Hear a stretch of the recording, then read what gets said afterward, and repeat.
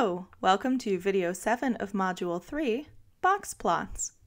In this video, we'll begin with a brief review of finding a five-number summary, as well as using the IQR method to identify outliers. Then, we'll slow down a little bit and talk about how to create a box plot. So let's get started. A useful way to visualize data is by using a five-number summary and the IQR to create a box plot. In order to make a box plot, we have to follow these six steps. You'll notice that the first five steps are review of things we've done before, making sure data values are in order, creating a five-number summary, finding an IQR and determining the outlier boundaries, and then identifying the outliers. Step 6 merely says to draw the box plot, so when we get there, we'll make sure we cut that into a few smaller steps to make sure we know how to draw it. So let's get started with an example. In 2007, Vlogbrothers Hank and John Green started a YouTube project called Brotherhood 2.0 in order to reconnect as adult brothers living in separate states. The lengths of their first 50 videos in minutes are given in the table below. We're going to create a box plot of these values. In order to do that, I need to give myself a little bit of space. So through the magic of technology, Da da da da! Hooray! So, because the first steps to finding a box plot involve finding a five number summary, getting the IQR, and using the IQR method to figure out outliers, I recommend that you pause this video and practice those ideas here. When you're done, you can resume the video and we'll go through it.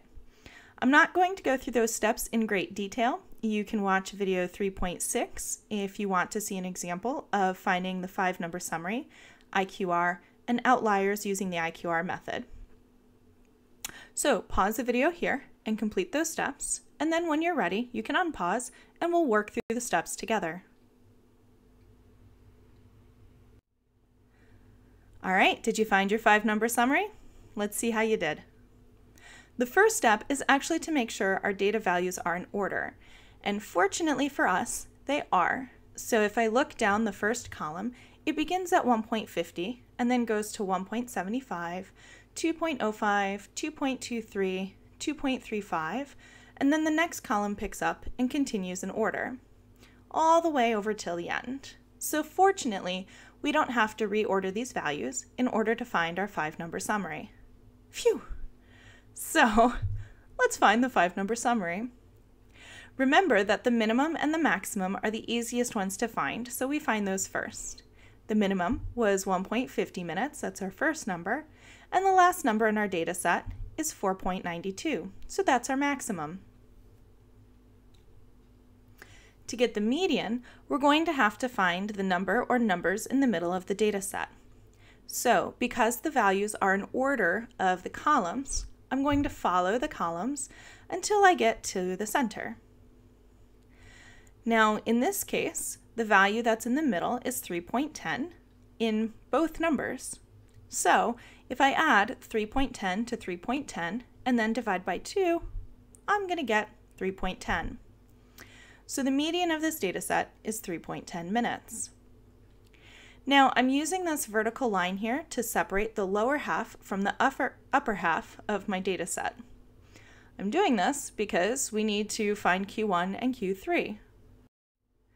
In order to find Q1, we need to determine the median of the lower half of the data set.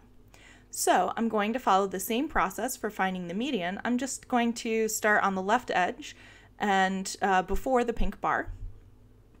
So I follow the order till I get to the middle and 2.75 is here in the middle. So that's going to be my first quartile, the Q1. Then we repeat the process to the right of the pink bar to find Q3. So, finding the median of the upper half of data, I get that Q3 is going to be 3.50 minutes. So there we go. That is our five number summary. How did you do? Now that we have the five number summary, we can use it to find the IQR. Remember that IQR stands for interquartile range, and the IQR is found by subtracting the first quartile from the third. So I do Q3 minus Q1, or 3.50 minus 2.75, and that gave me 0.75 minutes. Next, we're going to use the IQR to determine the lower and upper boundaries for outliers. To find the lower boundary, we have to subtract 1.5 times the IQR from the first quartile. So Q1 minus 1.5 times the IQR is going to be 2.75 minutes minus 1.5 times 0.75 minutes, and that's going to give us 1.625 minutes. This means that any value in our data set that is smaller than 1.625 minutes is going to be an outlier. In this case, that means our minimum, our one and a half minutes, is in fact an outlier in our data set. To find an upper boundary, this time we're going to add one and a half times the IQR to the third quartile. So Q3 plus 1.5 times the IQR is going to be 3.50 plus 1.5 times 0.75, and that gives us an upper boundary of 4.625 minutes. In other words, any number that is greater than 4.625 is going to be an outlier.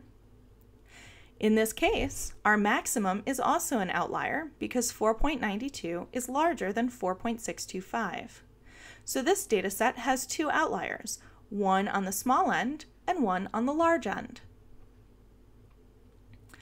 So that sort of is a review of the first five steps. Before we move on to create our box plot, there's actually another piece of information we need to gather.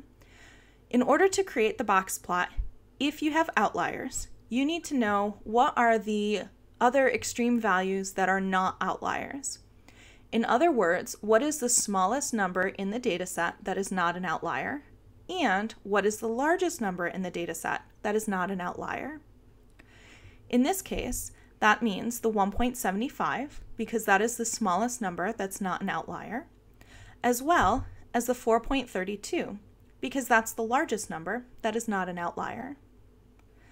Now that we've collected all of this information, let's summarize it and give ourselves some space to graph the box plot.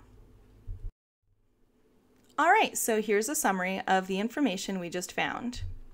We have our five number summary, our minimum, Q1, median, Q3, and maximum.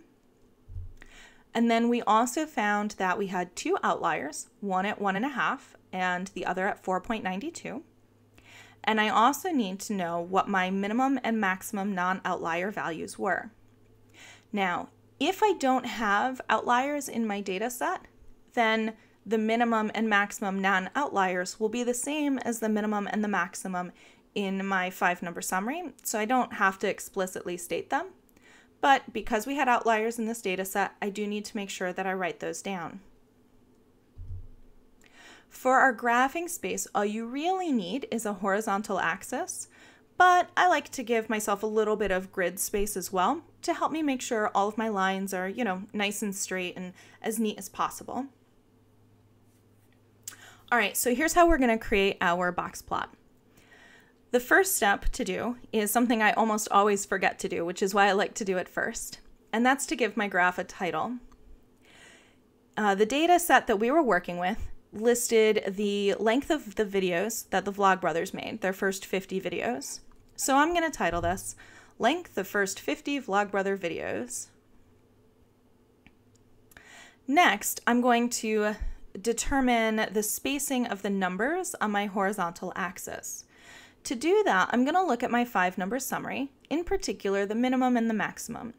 So the minimum was 1.50 minutes and the maximum was 4.92 which means I want to make sure that my horizontal axis goes from probably around 1 to 5. That will stay pretty nice with all of my data and uh, make sure that I fill up the majority of my grid space.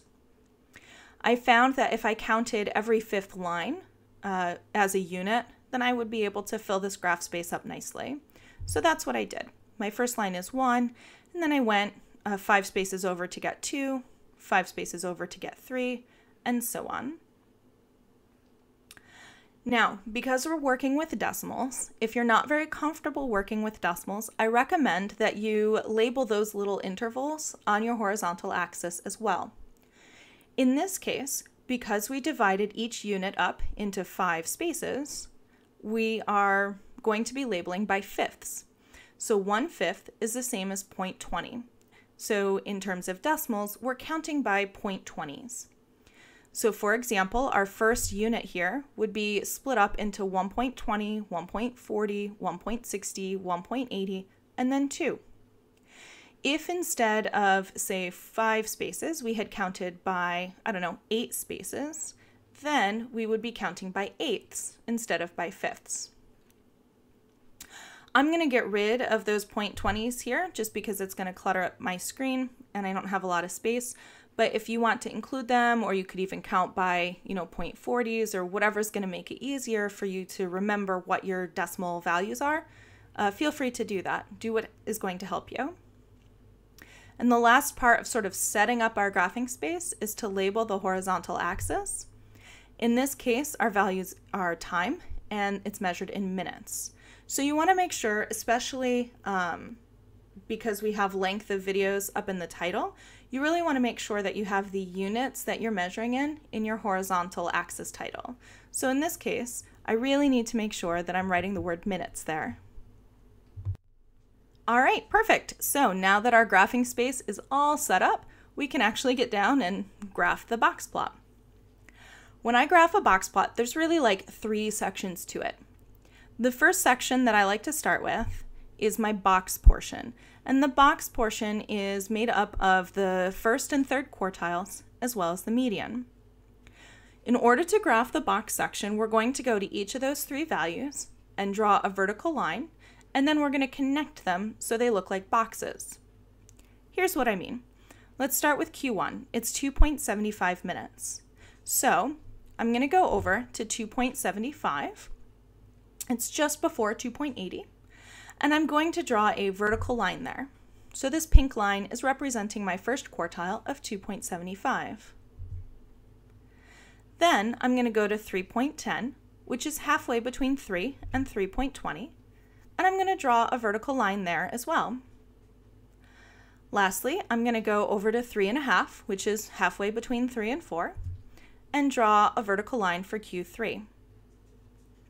To complete the box portion, I'm going to connect across the top and across the bottom. Because we're making this box, notice how it's kind of hovering over that uh, axis. So it's not touching the axis, but it's kind of hovering above it. So that's where we're going to place our box for our box plot. The second section of a box plot is to graph the outliers. Outliers on a box plot are going to be graphed with X. Sometimes you'll have a couple of outliers, like here we have two. Sometimes you might ha not have any outliers at all, and sometimes you might have only one or more than two. So you really can get kind of anything happening here. In order to graph our outliers, I'm going to go over to one and a half and plot an x. So that's our lower outlier. I'm going to do the same thing for the upper outlier of 4.92. So that's almost at 5 where I'm going to plot that x. So that's the second section of the box plot, is graphing the outliers using x's.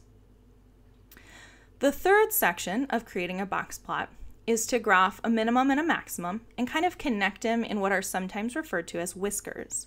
So sometimes a box plot is called a box and whisker plot because the minimum and the maximum end up looking like little cat whiskers off the side. Now, because both of our minimum and our maximum values were outliers, this is where we need to use the minimum non-outlier and the maximum non-outlier for our box plot.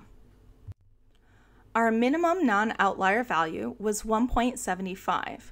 So I'm going to go over to 1.75 and draw a vertical line, but this time it's a little bit shorter than the lines we used for the box portion. So this little purple line is graphed at about 1.75. I'm going to do the same thing for the maximum non-outlier. So our maximum outlier value was 4.32. So I'm going to draw a vertical line at about 4.32. Then I connect these two pieces with a horizontal line to the box. So see how they kind of look like cat whiskers out the side? So that's why they're referred to as whiskers. Notice that the outliers are disconnected from the box portion of the graph, while the non-outliers are all connected together. This is deliberate to kind of show how far away from the rest of the data those outliers really are. So we can see that the lower outlier actually isn't super far away from the next lowest value of 1.75, whereas the maximum out, uh, value, the 4.92, is kind of far away from the second highest value in the data set, the 4.32. I also wanted to mention that if you don't have outliers, then instead of the x, you would just use the maximum or the minimum value as the maximum or minimum non-outlier and connect it. So it's possible that you uh, won't have any x's or you'll be using the actual min or max as part of the whiskers. It really just depends on what your data values are and whether or not you have outliers. This concludes our video for box plots and in fact the video for Module 3. Thanks for watching and I hope to see you in Module 4.